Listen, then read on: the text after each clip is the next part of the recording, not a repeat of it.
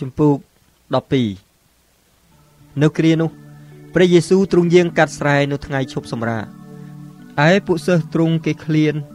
ហើយគេចាប់បូតគួស្រូវបរិភោគទៅ ពួកផារីស៊ីក៏ឃើញ ហើយគេទូលទ្រង់ថាមើលណសិស្សលោកធ្វើអំពើដែលគ្មានច្បាប់ធ្វើនៅថ្ងៃឈប់សម្រាកហើយ តែទ្រង់មានបន្ទូលតបថាតើអ្នករាល់គ្នាមិនដែលមើលរឿង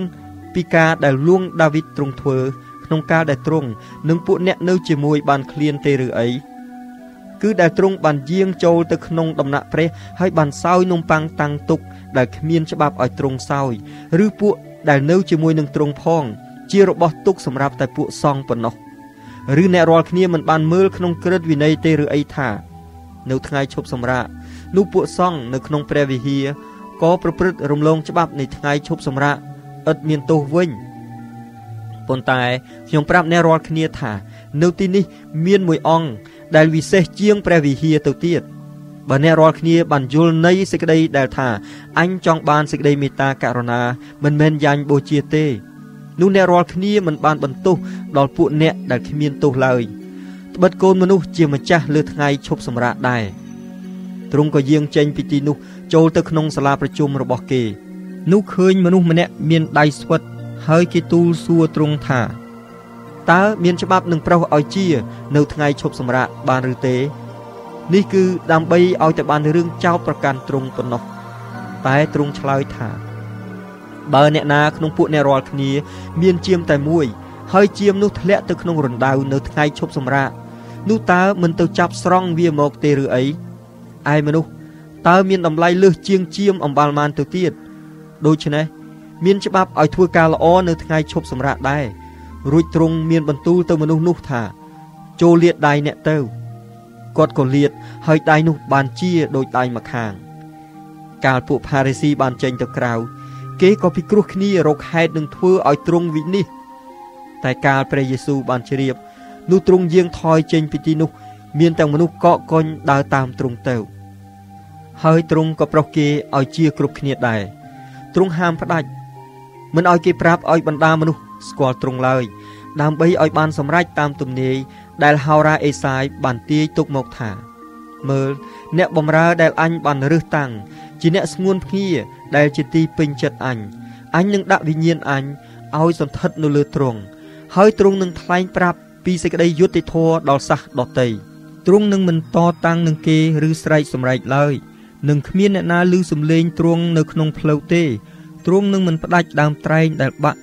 ក៏មិនលុតប្រឆេះដែលនៅហុយឡើយតលតែបាននាំសេចក្តីយុត្តិធម៌ឲ្យមានជ័យជំនះហើយអស់ទាំងសះដតីនឹងមានសេចក្តីសង្ឃឹមដោយនៅឈ្មោះទ្រង់នោះគេនាំមនុស្សម្នាក់មានអរិយចូល ដែលខ្វាក់ហើយកោមកឯទ្រង់ទ្រង់ក៏ប្រោសឲ្យបានជា គឺឲ្យមនុស្សខ្វាក់ហើយកោនោះ បានទាំងនិយាយហើយមើលឃើញផងឯវងមនុស្ស គេមានសេចក្តីអស្ចារ្យទាំងអស់គ្នាក៏និយាយគ្នាថា អ្នកនេះតើមិនមែនជាព្រះវង្សលួងដាវីតនោះទេឬអីតែកាលពួកផារីស៊ីបានឮពាក្យនោះ គេក៏ឆ្លើយឡើងថា មនុស្សនេះដេញអរិយបានដោយសារតែបេសេបូលជាមេអរិយទេប៉ុន្តែព្រះយេស៊ូវទ្រង់ជ្រាបគំនិតគេក៏មានបន្ទូលថាអស់ទាំងនគរណាដែលបែកទាស់តែគ្នាឯងនោះនឹងត្រូវវិនិច្ឆ័យទៅ ហើយអស់ទាំងក្រុងណា ឬផ្ទះណាដែលបែកទាស់តែគ្នាឯងនោះនឹងនៅស្ថិតស្ថេរពុំបានទេ ដូច្នេះបើអរិយដេញអរិយនោះមុខជាវាបែកទាស់គ្នាវាហើយយ៉ាងនោះធ្វើដូចម្ដេចឲ្យរាជវាស្ថិតថេរនៅបាន មួយទៀត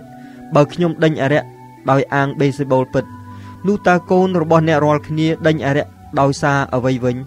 ដូច្នេះវានឹងធ្វើជាចៅក្រមជំនុំជម្រះអ្នករាល់គ្នាហើយប៉ុន្តែ បើសិនជាខ្ញុំដេញអរិយដោយសារព្រះវិញ្ញាណនៃព្រះវិញនោះឈ្មោះថានគរព្រះបានមកដល់អ្នករាល់គ្នាហើយឬធ្វើដូចម្ដេចឲ្យអ្នកណាចូលទៅក្នុងផ្ទះនៃមនុស្សខ្លាំងពូកែនិងប្លន់យកទ្រព្យសម្បត្តិរបស់គេបាន វាតែចងអ្នកខ្លាំងពូកែនោះជាមុនសិននោះទៅនឹងប្លន់ផ្ទះរបស់គេបាន អ្នកណាដែលមិននៅខាងខ្ញុំអ្នកនោះទាស់នឹងខ្ញុំហើយអ្នកណាដែលមិនប្រមូលមកខាងខ្ញុំ អ្នកនោះជាអ្នកកំចាត់កំចាយវិញ ហេតុនេះបានជាខ្ញុំប្រាប់អ្នករាល់គ្នាថាអស់ទាំងបាបហើយពាក្យប្រមាថនឹងអត់ទោសឲ្យមនុស្សលោកបាន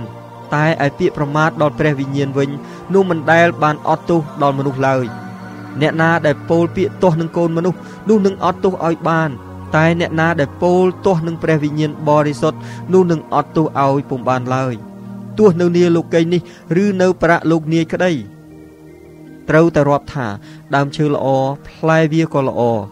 ឬថាដើមឈើអាក្រក់ហើយផ្លែវាក៏អាក្រក់ដែរត្បិតគេស្គាល់ដើមឈើដោយសារផ្លែវាពូជពោះវែកអើយដែលអ្នករាល់គ្នាអាក្រក់ម្លេះតើធ្វើដូចម្ដេចនឹងឲ្យអ្នករាល់គ្នាពោលសេចក្តីល្អបាន ពីព្រោះមាត់តែងនិយាយតាមសេចក្តីបរិបូរណ៍ដែលនៅក្នុងចិត្តធម្មតាមនុស្សល្អតែងបញ្ចេញសេចក្តីល្អអំពីកំណប់ដ៏ល្អដែលបានកប់ទុកក្នុងចិត្តឯមនុស្សអាក្រក់វិញ គេក៏បញ្ចេញសេចក្តីអាក្រក់ អំពីកំណប់អាក្រក់របស់គេដែរហើយខ្ញុំប្រាប់អ្នករាល់គ្នាថា នៅថ្ងៃជំនុំជម្រះនោះមនុស្សលោកនឹងត្រូវរៀបរាប់ប្រាប់ពីអស់ទាំងហេតុនៃពាក្យឥតប្រយោជន៍ដែលគេបាននិយាយត្បិតអ្នកនឹងបានរាប់ជាសុចរិតដោយសារពាក្យសម្ដីរបស់ខ្លួន ឬនឹងត្រូវទោសក៏ដោយសារតែពាក្យសម្ដីនោះដែរគ្រានោះពួកអាចារ្យនិងពួកផារីស៊ីខ្លះគេទូលត្រង់ថា លោកគ្រូ យើងខ្ញុំចង់ឃើញទីសម្គាល់ពីលោក តែទ្រង់មានបន្ទូលតបថា ដំណរមនុស្សអាក្រក់ហើយកំផិត គេចេះតែចង់ឃើញទីសម្គាល់តែនឹងគ្មានទីសម្គាល់ណាបានប្រទានមកគេ ក្រៅពីទីសម្គាល់របស់ហោរាយូណាស់ឡើយត្បិតដែលលោកយូណាស់បាននៅក្នុងពោះត្រីអស់3ថ្ងៃ3យប់យ៉ាងណា កូនមនុស្សក៏នឹងនៅក្នុងផ្ទៃផែនដី3ថ្ងៃ3យប់យ៉ាងនោះដែរឯមនុស្ស នៅក្រុងនីនីវេនឹងឈរឡើងជាមួយនឹងមនុស្សដំណរនេះក្នុងគ្រាជំនុំជម្រះហើយនឹងកាត់ទោសឲ្យផងត្បិតគេបានប្រែចិត្តដោយលឺសេចក្តីដែលលោកយូណាស់បានប្រកាសប្រាប់ហើយមើល នៅទីនេះមានមួយអង្គដែលវិសេសជាងលោកយូណាស់ទៅទៀតមហាក្សត្រីនៅស្រុកខាងត្បូងនឹងឈរឡើងជាមួយនឹងមនុស្សដំណរនេះក្នុងគ្រាជំនុំជម្រះហើយនឹងកាត់ទោសឲ្យផង ដោយព្រះនាងបានយាងមកពីចុងផែនដី ដើម្បីនឹងស្ដាប់ចំណេះរបស់លួងសាឡូមោនហើយមើល នៅទីនេះ មានមួយអង្គវិសេសជាងលួងសាឡូមោនទៅទៀតកាលណាអរិយអសោចបានចេញពីមនុស្សទៅហើយនោះវាដើរចុះឡើងនៅកន្លែងហួតហែងដើម្បីរកទីឈប់សម្រាកតែរកមិនបានសោះនោះវាគិតថាអញនឹងត្រឡប់ទៅឯផ្ទះអញដែលទៅនឹងចេញមកនោះ រួចកាលវាមកដល់ឃើញផ្ទះនៅទំនេរបោះស្អាតហើយតុបតែងយ៉ាងល្អ នោះវាចេញទៅនាំយកអរិយ7ទៀតដែលកាចកាចជាងវាមកជាមួយផងក៏នាំគ្នាចូលទៅនៅទីនោះ ហើយសន្តានក្រោយរបស់មនុស្សនោះ បានអាក្រក់ជាងមុនទៅទៀតឯមនុស្សដំណរអាក្រក់នេះ គេនឹងបានដូច្នោះដែរកាលទ្រង់កំពុងតែមានបន្ទូលនឹងវងមនុស្សនៅឡើយនោះមេដានិងពួកប្អូនទ្រង់ក៏ឈរពីខាងក្រៅរកទូលនឹងទ្រង់មានម្នាក់ទូលទ្រង់ថា មើលណ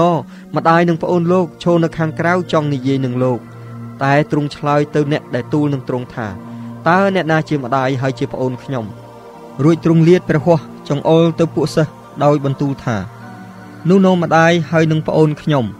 ត្បិតអ្នកណាដែលធ្វើតាមព្រះハរតីនៃព្រះវរបិតាខ្ញុំ ដែលគង់នៅស្ថានសួគ៌គឺអ្នកនោះហើយជាប្អូនប្រុសស្រី ហើយជាម្ដាយខ្ញុំវិញ។